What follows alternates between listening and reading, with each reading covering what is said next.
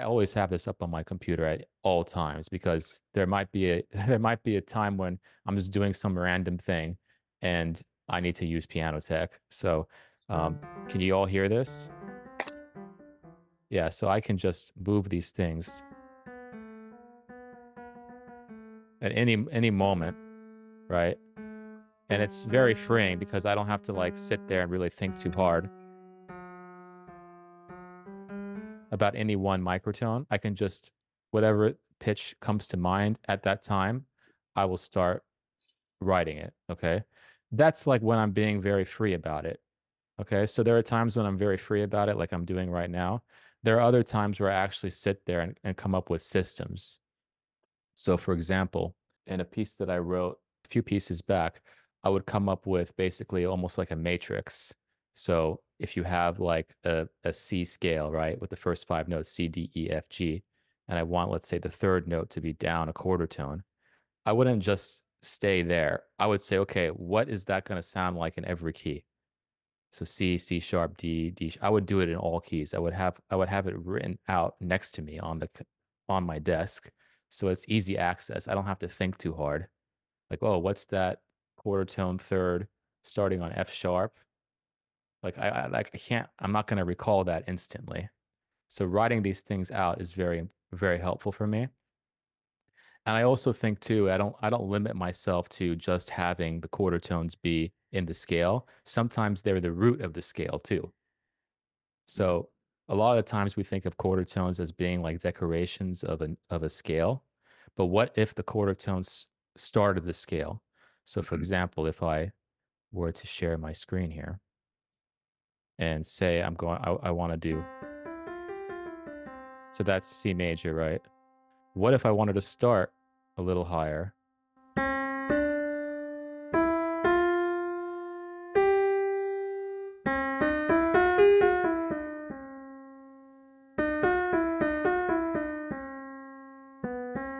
So now the the C half sharp becomes the root of the scale rather than C natural or A natural or something like that. And I feel like that is not really talked as much about. Like how do you make making these quarter tones the root of the scale sometimes uh, gives uh, the, listener a feeling of okay, actually this is what the music is, not so much okay, it's a decoration, right? Because the only note that wasn't a decoration that wasn't a quarter tone happened to be the third in this case.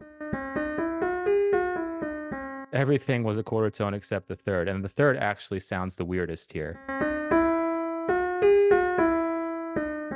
So there are ways to to do it beyond like some of these like uh like waves that we might have seen uh microtonal music be made. Does anyone have any uh, questions about that specifically what I just played? I do. Do you work with any particular systems, any divisions of the octave? Like, do you do any like 17 tet or 33 tet or anything like that? Or I've yeah, I've seen those I've seen those things, of course, but I work primarily either in just intonation or with 24 tet or some combination of those two, only because I main I mainly work with live musicians and even 24 tet. 24 tet is basically the the farthest most of them can handle, and there is no way I can bring 17 tet or 33 tet or 36 tet or 19 tet or any of the other common ones out there unless I was using a computer a synthesizer, you know, along with it. But even then, it, it's very difficult, I find. With um, classical, I'm talking about classical musicians. It might be different with people that have a new music background. In other words, people that play contemporary classical music for a living.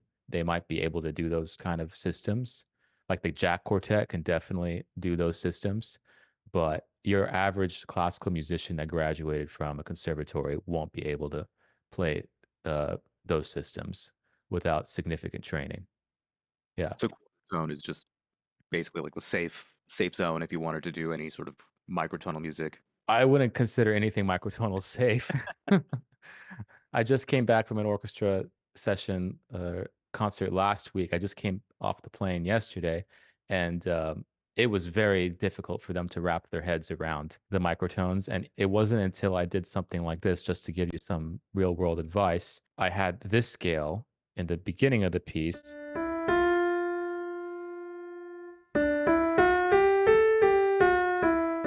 So this is a D, E, F half sharp, G, A, G, F half sharp, E, D. and they just couldn't wrap their mind around this at all, you know? Oh, man. Mm. So what we had to do was we did this. So we had the whole orchestra play D, then we had the whole orchestra play E, then we had the whole orchestra play F sharp, and then the conductor said, "All right, go down half like a quarter step." Okay, and then I then he said, "Go up to G, and then go down to F half sharp." And that that then it started to kind of make sense. This Mm. kind of way of doing it, like compare it to the major scale.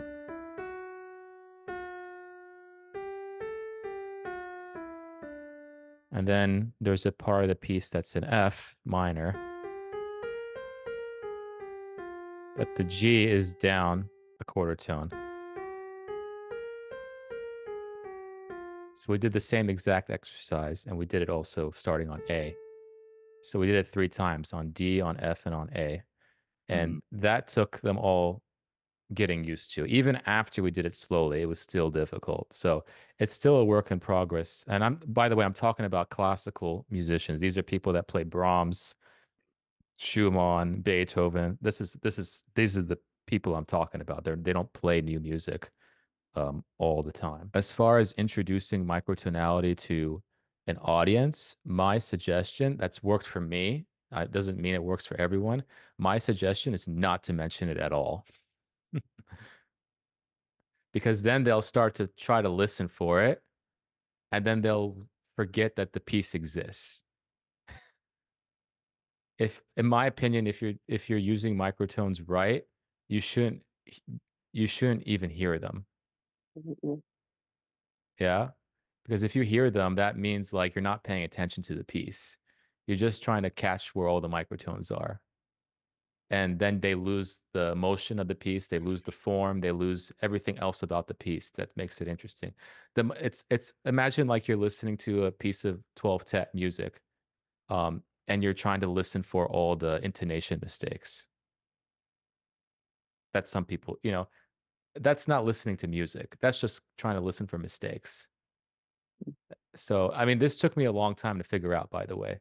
Um, I used to always mention in concerts. Oh, you know, I'm using the Arabic maqam. You know, I'm using a, you know, this is a D major scale, but the third is down a quarter. You know, I would start saying these kind of things, and it would just fly by most of the audience, even a technical audience, um, and they would just pay attention to that rather than all the notes, rhythms, form, timbres, everything else that I think is interest more interesting about the piece. So if uh, I hope that answers that question about approaching it because I, I I think it's the opposite. If we try to normalize these notes, um, the more an audience would accept them, and and the more an audience would barely tell that they're there. You know, you don't want you don't tell an audience like if you're using um uh, you don't tell an audience if you're using jazz harmony, oh, I'm using seventh, you know, I'm using uh, 13 chords, 13 sharp four chords in this. Like you wouldn't say that. You would just say, oh, you know, these are there's this is influenced by Charlie Parker or something. You wouldn't say, oh, this is uh this is this chord progression from from this specific piece, right? So, um, yeah, that I found success with that. Um, so, for example, the piece I had last week that had all the microtones, it, was the fanfare, which I posted recently on the channel. Um, I uh, almost everyone that came up to me, and and I'm talking these are older donors, right? They're like in their 80s. None of them mentioned the microtones to me. Not a Oh, single one they all were talking about, "Oh, you know, it was so uplifting, this and that. Oh, I felt like I was on a trip up the PCH." This is the highway in California on the coast. That's the kind of stuff they were telling me. They weren't talking about the microtones at all because I didn't prime them to listen for them listen to them. They all heard something was kinda off, but they didn't quite know what it was, and it didn't really bother them either, you know? So, um, I thought that was quite interesting, and I learned a lot actually last week through that process of, uh, just framing the piece in a different way. Yeah, I have a kind of specific question about Yeah. uh, microtones. So, um, when I use microtones, I only really use the just seventh uh, and fifth partials. Mhm. And I think it kind of gets a little bit just like, like I said, I it gets kind of boring, or not boring to me, but uh, like in my jury, someone was like, you should use more, and I'm afraid of using the more like extended HEJI, uh, like the more extended, uh, like tuning Mm-hmm. for it. Uh, and I was just wondering if you had any insight into how to make it like more interesting, maybe than just the seventh and fifth partial, or maybe the eleventh. Mm-hmm.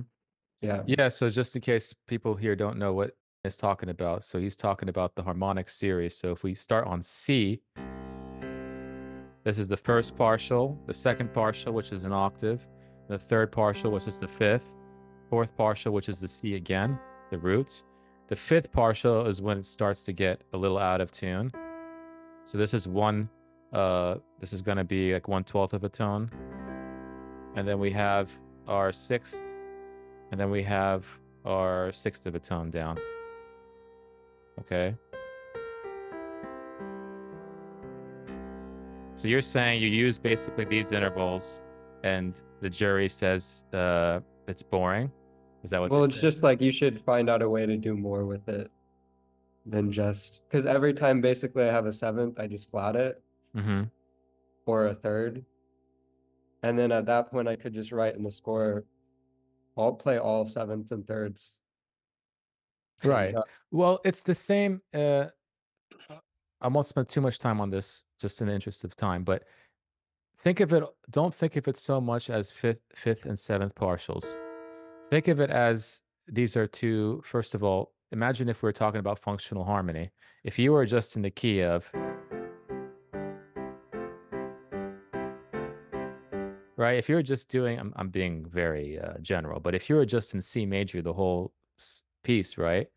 this is not something that composers normally do, right? They modulate to other key areas. You know, if you want to use the fifth and seventh partial, use the fifth and seventh partial, but maybe literally using, if you're in the key of C, E and B flat all the time, maybe that's a little much in a, you know, 10 minute plus piece. But Yeah. if you wanted to go down, like, what if you modulate? Like, what if you modulated, you know? What if you went from C major? What do what do a lot of com- uh, composers do? They go to the the fifth, or they go to the fourth, or they go to the third, right? But What if you modulated to F major? But that would mean that you would have the A down, the third is down, and then you have the E flat down. So what if you? I mean, what if you simply did that? I mean, what what what new worlds can you open up?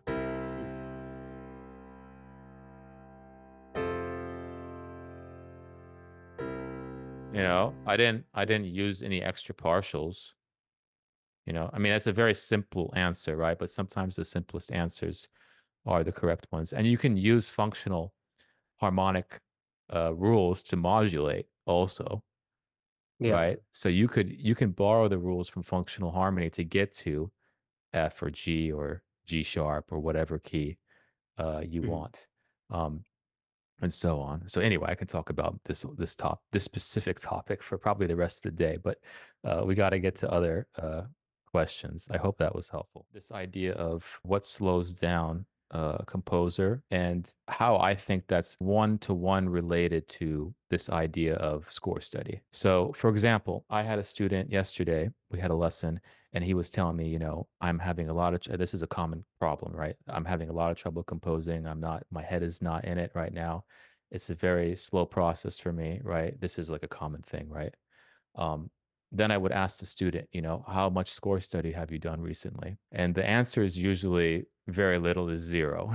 okay. When you're learning a language, has anybody learned a, a language like that, like a non, you know, non-native language? Has anybody done that? Okay. One. Faisal, what did you learn? Eng- Is it English? I'm assuming. Yeah, English. English, yeah. When you're learning English, let me ask you, when you're learning English, when you started learning English, how many things are there? Reading, writing, speaking, listening, right? Which of those four did you do the most in the first six months of learning English? Reading, writing, listening, or speaking? I think it uh, was uh, writing and reading. You were writing and reading. Yeah, Which one were you doing more of between the writing and the reading? reading. Okay. So is that a reading an input or an output? So if you're writing, right? In other words, if you're composing music all the time, and you don't feel like you're getting better, the problem most likely has to do with you don't have enough inputs. In other words, you're not listening to enough music. Yeah. This is something I also learned myself because I learned Italian a couple years ago. I realized I had to listen a lot more than I spoke. And it took me almost a year of listening, listening, listen before I can even really say anything that made sense as an Italian speaker. And I think that the same thing applies to writing. I think that my sense from the students that I've encountered in my own studies is that the score study element is not as important for whatever reason uh, than the writing process. So that's that's my number one thing uh, when it comes to getting because I feel like when you get stuck, forget the get the paper out of the way, get the Sibelius or whatever notation, go and study a score or a, bunch of scores, and you'll be shocked how might how something might inspire you for something else. It happens to me uh, a lot, and every time I write a brand new piece of music myself, I am always looking at scores. Uh, I, I never start a new piece without looking at a bunch of scores, like ever.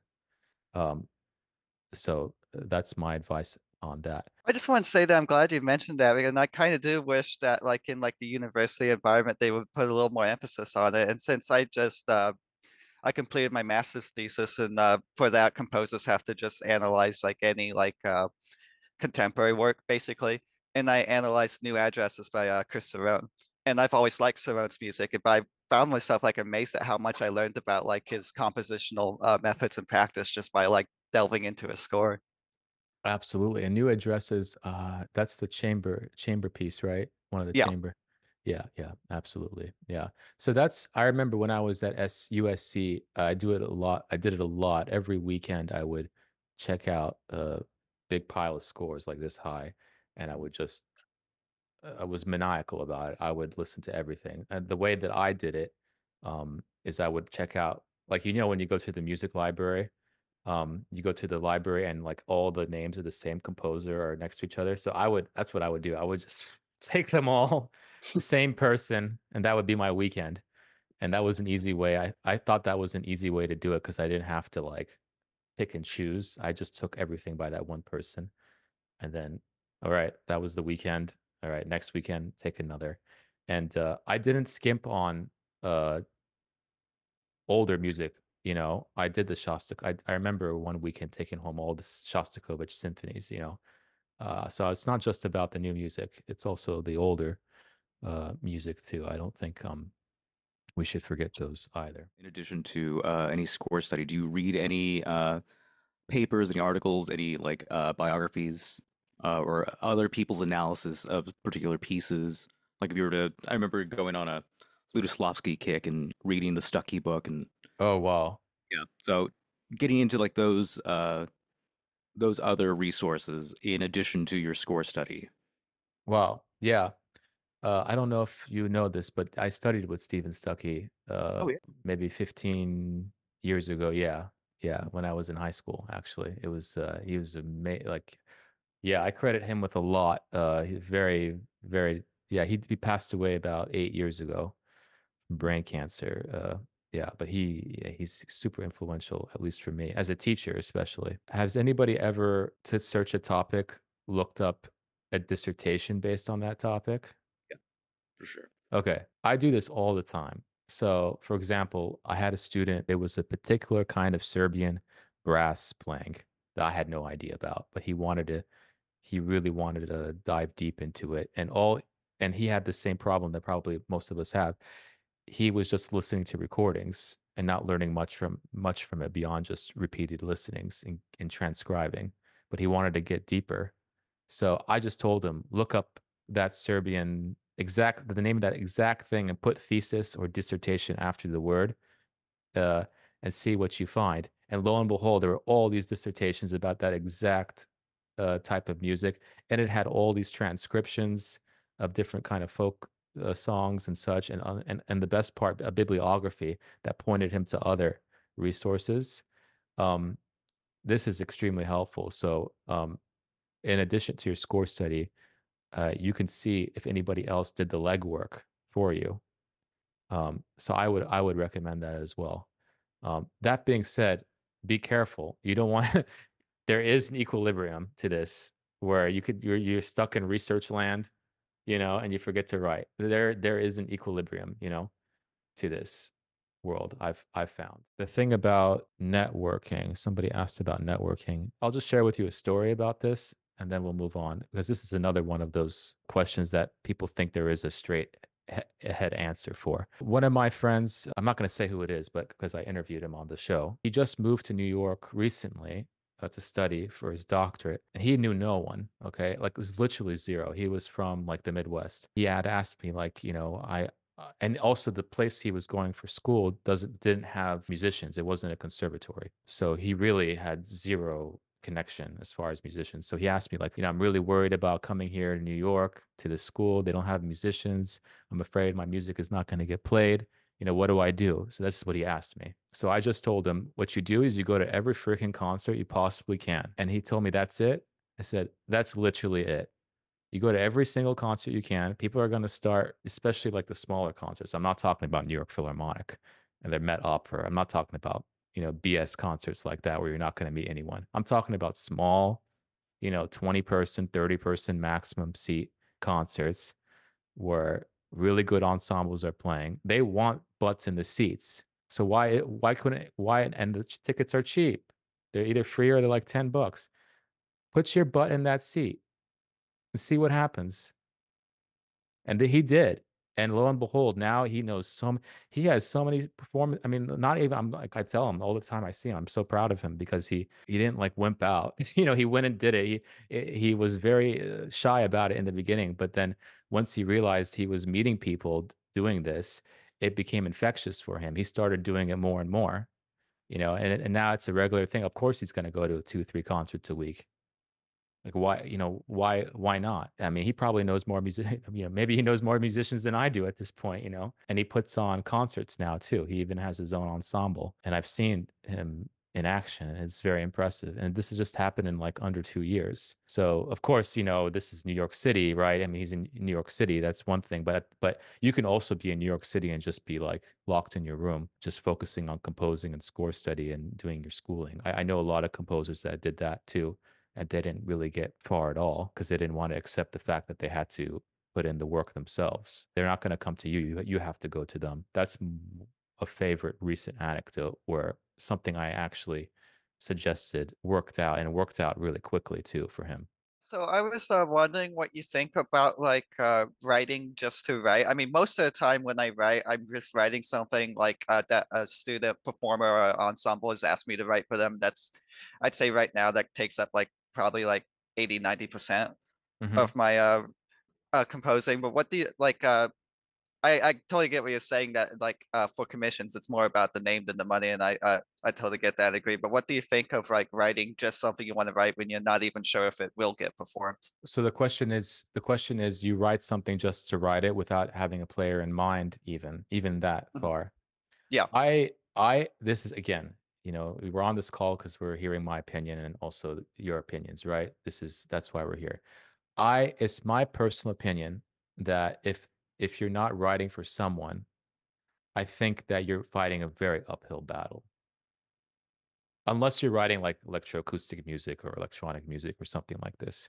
But if it's like something that's meant to be played by a saxophonist, by a violinist, by someone with, you know, technical ability, right? A string quartet, whatever it is, I think it's like I think you're fighting an uphill battle with that because what's going to happen is you know you write let's say you write a solo violin let's let's keep it easy let's not say orchestra or something let's say solo violin or solo trumpet or something let's let's be realistic right? Let's say you write this solo violin piece right? Let's just go through the entire life cycle. Just humor me. So you write the solo violin piece you want to write it because maybe you you feel like it or you don't have a solo violin piece okay? You write the thing it takes you let's say it takes you two months. Let's just say it takes you two months. You wrote this 10 minute piece. I'm just putting in numbers here. You can put in any number you want. Okay. You have the piece. Great. You finished the piece. You're happy with it. You're really not really sure if it works because you haven't you haven't collaborated with someone on it, right? Um, it's just a finished piece. Okay. Then you go to try to find somebody to play. So now you've spent these two months writing it now you're trying to find somebody to play it. So now you're spending more time after that trying to find somebody to play it, right? Then let's say you try to find someone to play it, right? Now the piece is like completely done. So if the piece is completely done, who has the agency in that piece? Is it you or the musician? That's a that's a question for you, for anyone. Who has the agency in this in this relationship? The composer, you that wrote the piece, or the musician, the the person you're presenting the piece? The musician. The musician has the agency?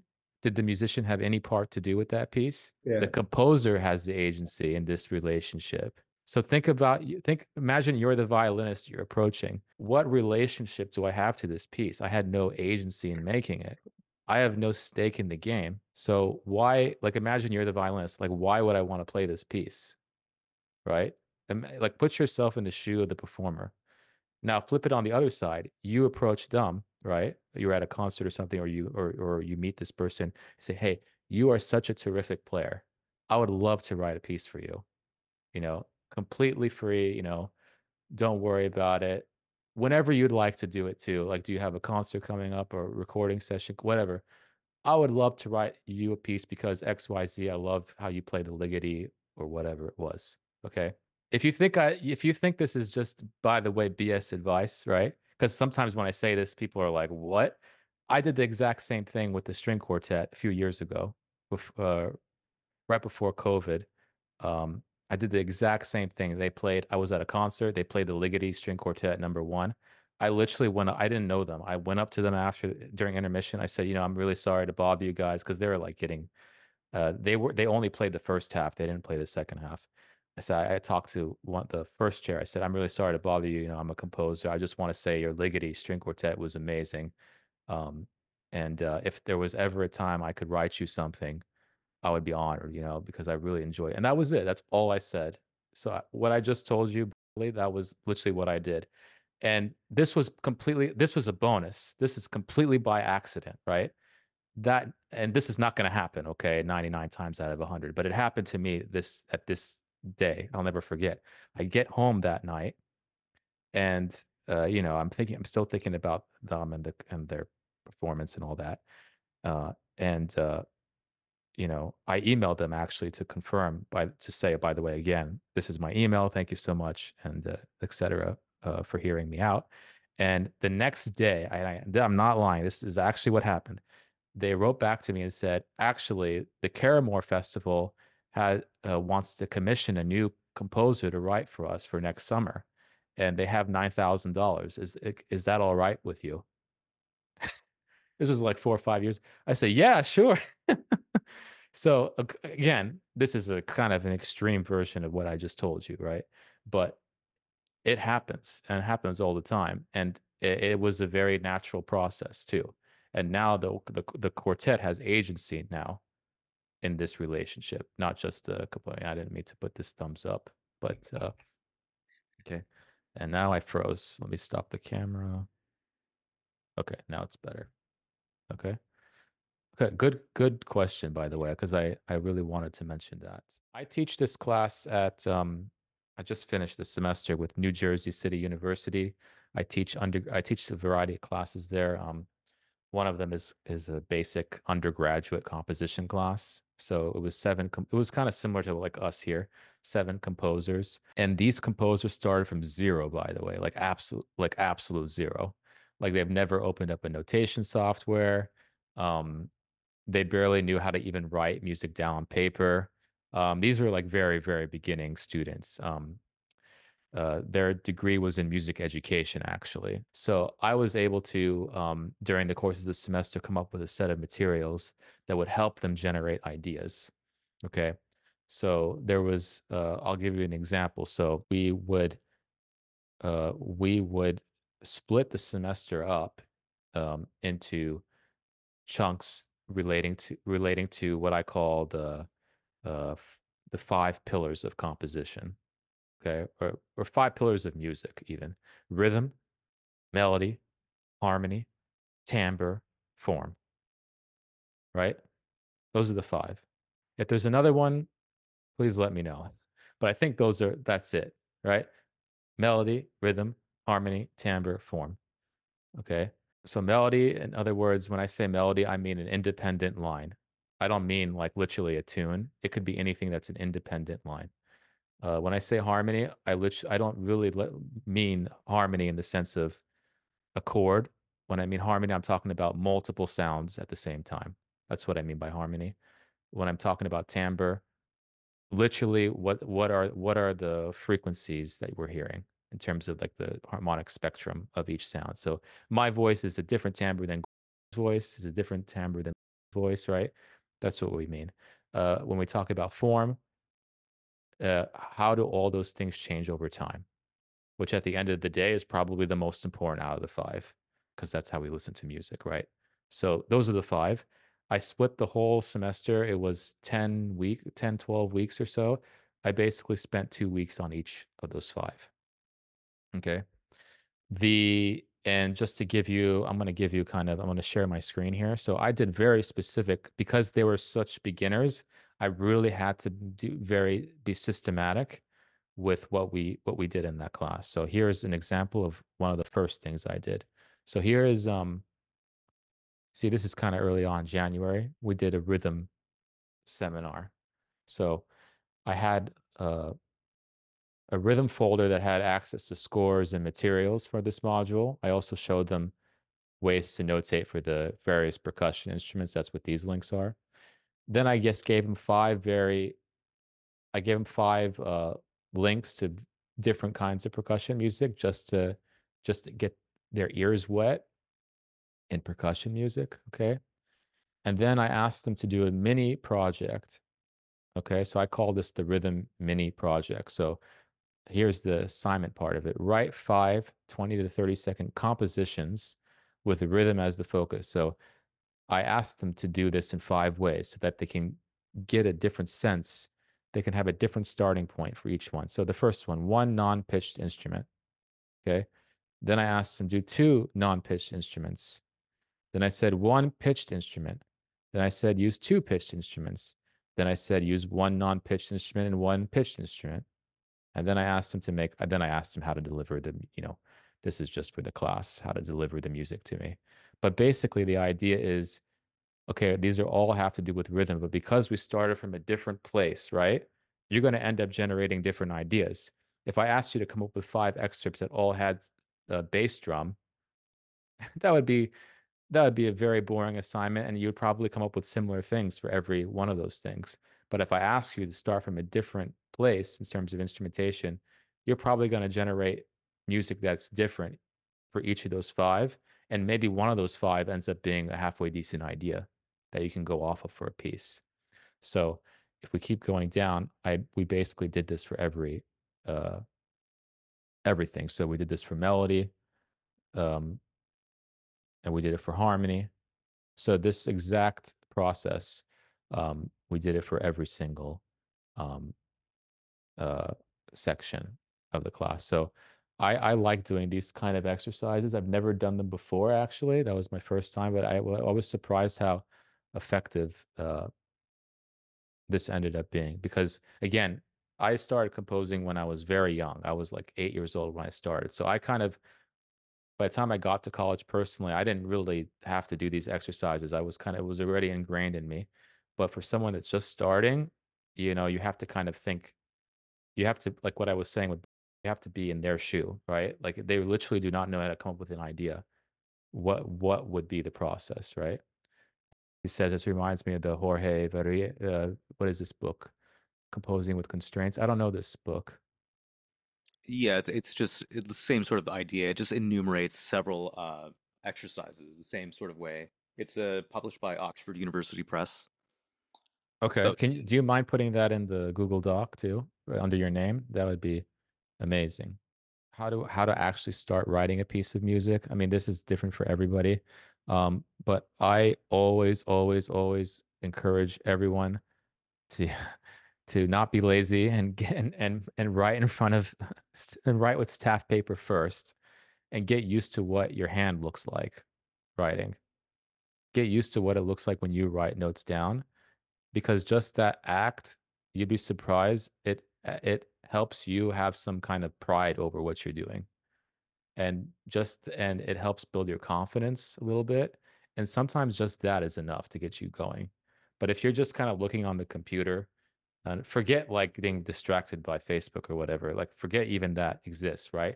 But just like looking on the computer at pitches and and and the software that everybody else is looking at, like that really psychologically makes you feel that you know you have to write music that's kind of like that and i just don't i don't ascribe to that. I think that um i think that's psychologically tough when you're just working straight into the software so that would be my number one piece of advice there um don't go straight into the software in the beginning but use the software when you're writing don't don't wait till the end either use it while you're writing i think is extremely helpful uh, process. Okay. Wait, so just to clarify, you write by hand while your Yes. your notation software open Yes, I at the do. same time? Okay. Yeah. Yeah, I do.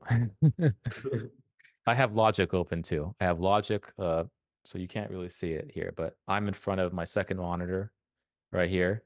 I usually have um, Logic or with Pianoteq open right here.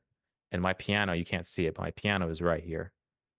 So I'm looking at this monitor and I'm playing on the keyboard. And I'm sometimes I record right into this Logic with Pianoteq. And then on this side here, you can see a desk right here. See this desk? This desk here has manuscript paper and pens and pencils. Okay. That's my writing station. And I I- what I have is overkill. Okay. I, I just it's overkill. I, I mean this is 10 years in plus of writing. I, I figured out what I like. Everyone's different. Uh, right here is my main monitor. That's where my my Sibelius or Dorico. uh, I kind of interchange between the two, but those that's where that lives. Um, so I can just take my manuscript paper right here that lives here. I put it right here. I have a table here as well. I play, then I would take that and I move it over here and I put it into Sibelius or Dorico. So I have like a system, but everybody's different, you know. I, I like to center my system around the manuscript paper.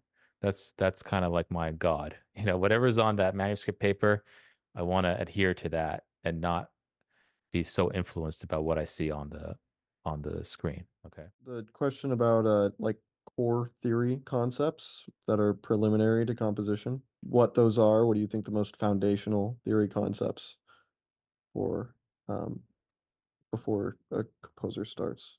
Basically anything starting from the 15th century onwards to the 19th century. I don't think like early 20th century stuff is that applicable yet to start. I think you have plenty to go through.